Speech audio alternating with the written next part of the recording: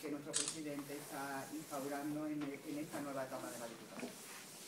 Eh, mi primera palabra también quiero reconocer y agradecer a este equipo de gobierno, al concejal de ganadería que también está ahí sentado, Antonio,